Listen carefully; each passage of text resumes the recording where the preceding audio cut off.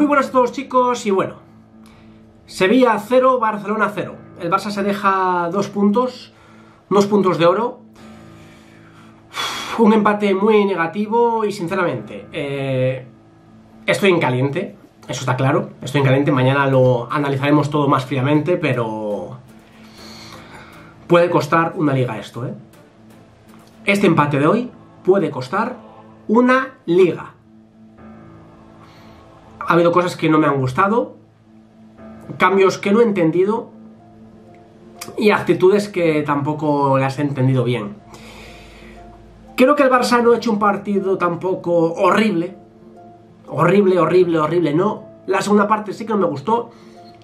La primera sí me convenció bastante, ojo. La primera parte además lo estaba poniendo por Twitter, etcétera. Me estaba gustando, estaba viendo a un Barça con actitud, un Barça tal.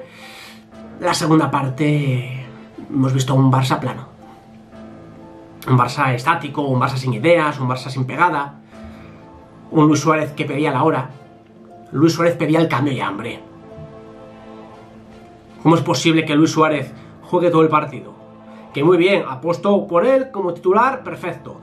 Se le ve que no está al nivel Luis Suárez, no está, a mí me encanta Luis Suárez, estoy muy contento que esté de vuelta, creo que va a sumar muchísimas cosas positivas, pero no está, y menos para jugar 90 minutos. Minuto 50, 60, se veía a Luis Suárez ya lento, asfixiado, no lo sacó. ¿Dónde está Ansu Fati? Tienes a Ansu Fati, que te viene de marcar un golazo, que viene de coger moral, confianza, y no lo sacas hoy. No lo entiendo.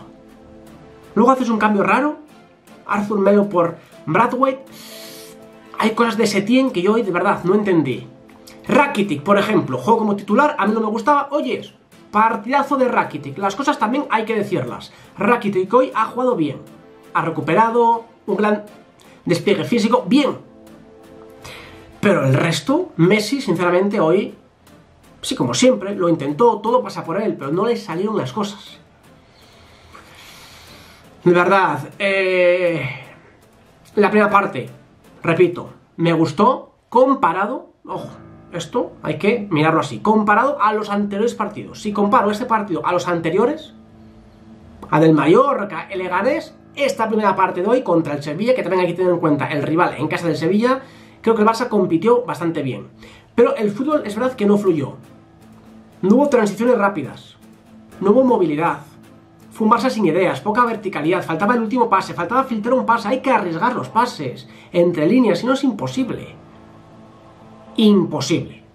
El Barça tuvo alguna ocasión, es cierto, pero también las tuvo el Sevilla. Partido muy abierto, el Barça sí que tuvo un poco más la posesión, durante un tramo sí que controló mucho más, pero... Os lo dije. Jugando como contra Leganés, no ganamos al Sevilla. No se gana.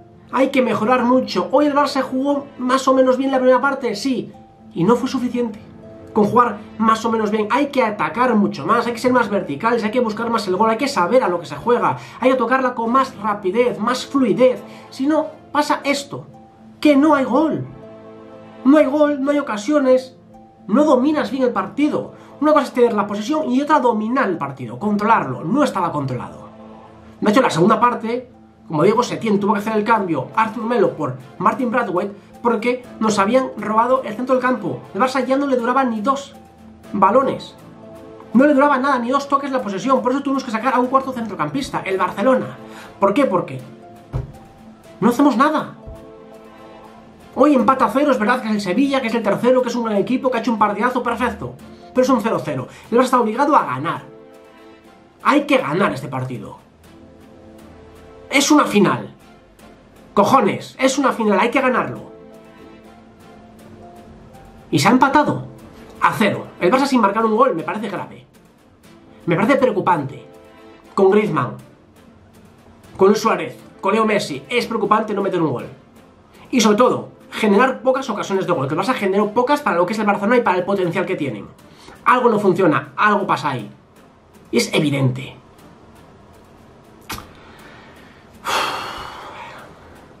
Nos hemos dejado dos puntos de oro y como el Madrid gana el siguiente partido, ya está. Perdemos el liderato porque el golaveras lo tiene el Madrid. Porque los duelos Barça-Madrid nos han ganado ellos.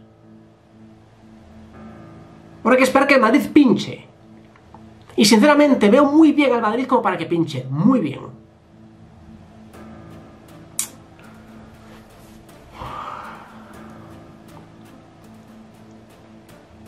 Qué pena, porque de verdad, estaba viendo la primera parte y tenía esperanza, veía un Barça un poco mejor, tal.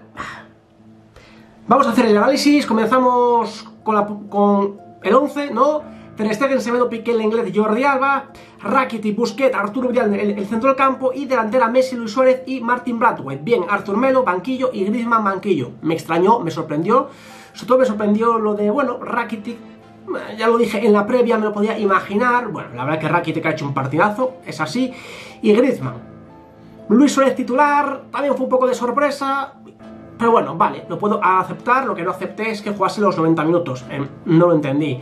Como digo, empezó el Sevilla con una presión muy alta, con una gran intensidad. Suárez dispararía a los dos minutos sin problema para el portero. Y como digo, al minuto otro acercamiento peligroso, gran respuesta del Barça. Comenzó el partido ya con mucha intensidad.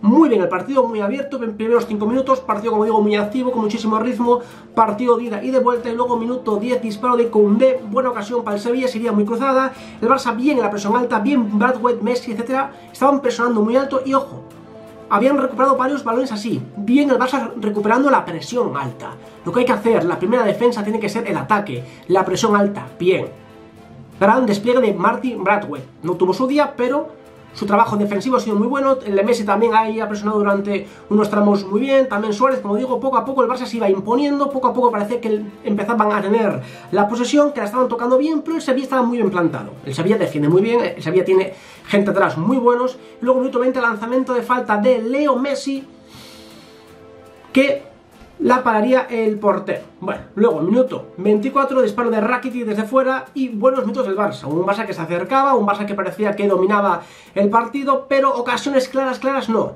Como veis, un lanzamiento de falta, disparo desde fuera, no ocasiones claras. Luego bajaba un poco el ritmo del partido, era normal. Rakitic, de momento, como digo, mmm, gran trabajo, recuperando balones, despegue físico, bien Rakitic, bien los pases, me estaba gustando hoy el croata, como veis, cuando lo hace venta me lo digo.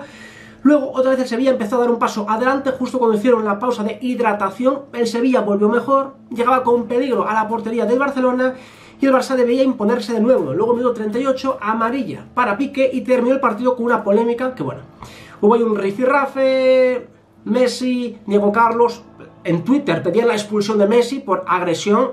Mira, de verdad, esto ni lo comento casi, porque me parece que es hacer polémica por hacer. Todo viene de esta falta que vemos aquí en esta imagen, donde Diego Carlos hace un entradón bestial, perdón, a Leo Messi. Y claro, Messi se calienta porque le está dando y finalmente a saber qué le dice Diego Carlos y Messi empuja a Diego Carlos en el pecho un poco. Diego Carlos también responde, se ven en la jugada, en el vídeo se ven que los dos hacen así con los brazos como un empujón. Y oyes, esto no es agresión, esto no es roja, esto para mí como mucho amarilla para los dos por poderos un poco tontitos y venga, a correr. Esto es fútbol, son calentones, sí, es algo normal. Quien diga que esto es roja, de verdad. Eh, entonces estamos locos, ¿eh? Estamos locos. ¿Se calentó Messi? Sí. Mal. Bueno, vale. Como mucho, repito, como mucho, amarilla para los dos. Que los dos han estado mal. Ya está. No veo más polémica. Y lo digo de verdad, si no me da igual. Y más ahora que estoy caliente, ¿eh? Que puedo decir, mira, pues sí, lo hizo mal, roja.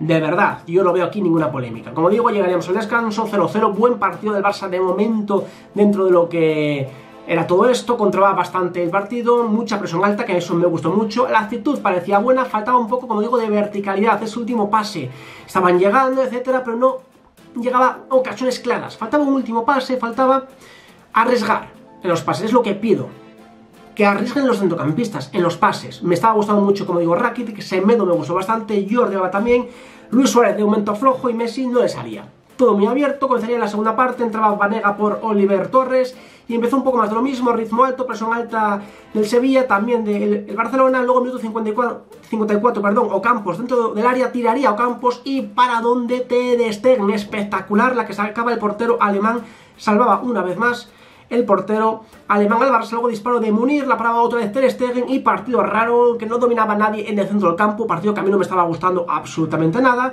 Luego entraría Suso por Munir, minutos malos para el Barcelona, un Barça que no estaba bien, muy espeso Arriba no había creación en el centro del campo y llegaría uno de los cambios raros. Entraría Arthur Melo por Martin Bradwaite. Supongo que para meter a cuatro centrocampistas y para volver a recuperar la pelota, ¿no? El esférico, algo que el Barça lo había perdido. Luego doble cambio también en el Sevilla, buscando más el gol, y minuto 74 y el Barça empezaba a imponerse otra vez de nuevo, con más posesión, etcétera, metiéndole calma al partido, se notaba la entrada de Arthur, es verdad, pero nada más que eso. Toque, calma, sí, la posesión, pero no llegaban. Luego eh, salvó Alba, un contragolpe perfecto del Sevilla que eran 3 para 1 Jordi Alba cortó un pase decisivo que se quedaban solos dos futbolistas delante de Ter Stegen, bien Jordi Alba. Luego entraría Antoine Griezmann por Arturo Vidal. Arturo Vidal parece que no le gustó mucho el cambio. Griezmann entró sin tiempo, más por la izquierda, mm, poca aportación. Luego disparó de Ocampos, bloquearía bien Ter Stegen. Luego entraría Mudo Vázquez por Ocampos. O en minuto 87, centro de Jordi Alba. Luis Suárez con la zurda dentro del área en buena posición, la echaría alta. Esta sí que fue la mejor ocasión del Barça en todo el partido. Ocasión clara de Luis Suárez. Sería alta, muy raro que el uruguayo fallase esta. También yo creo que es por la falta de confianza y también porque físicamente ya estás más cansado y cuando ya estás cansado estás más impreciso. Luego entraría Ricky Putz por Rakitic. Cambio sorprendente, Ricky Putz apenas sin tiempo, quizás hay que sacarlo un poco antes. Luego del 90 tendría una reguilón clarísima dentro del área, básicamente en el área pequeña, tiraría con la derecha, le dio mal y la pararía Ter Stegen. Pero ocasión clarísima del Sevilla y final del partido. Luego el Barcelona, los últimos minutos no me gustó porque, oyes, añade 5 minutos el Barça tenía al Sevilla encajonado atrás y poca actitud, pocos centros tal como andando, caminando. ¿Qué hacéis? Que os jugáis la liga, señores, os jugáis la liga y vais caminando en los últimos minutos. Quizás físicamente no estaban bien, no lo sé, pues que se haga cinco cambios. ¿Qué quieres que te diga?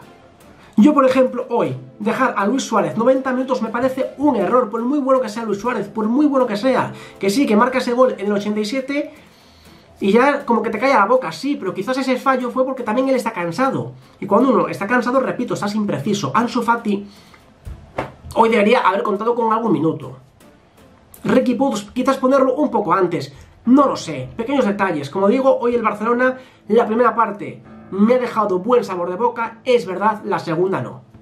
Y aquí esto es fútbol, estos son finales, esto es el Sevilla. Aquí no vale con hacer una primera parte medianamente buena. No, hay que hacer los 90 minutos, porque si no, nos vamos a comer los mocos, ¿vale? Los mocos. Así queremos ganar al Nápoles en Champions. ¿Habéis visto cómo juega el Nápoles, cómo defiende, cómo ataca? ¿Habéis visto las ocasiones que le generó a la Juventus y cómo le ganó en la final de la Copa? Cuidado. Cuidado. Y vienen partidos complicados para el Barcelona, también para el Madrid, es cierto, pero el Madrid yo lo veo con confianza y le veo bien. ¿También puede pinchar? Sí, pero como ganen el domingo, ya no somos líderes, ¿eh? Esto puede costar una liga. Mañana seguramente lo vea todo más... Bueno, más frío todo, haremos el análisis más fríamente de lo mejor y lo peor, pero a día de hoy ahora mismo estoy un poco decepcionado. Hoy el Barça tenía que darle el golpe encima de la mesa y no lo hizo. Es así. Pero bueno, quiero que me dejéis todos los comentarios, qué os parece el partido, sabéis, dejadme vuestras sensaciones, apoyadme con un enorme like, suscribiros y nos vemos en el siguiente vídeo. Venga, un saludo.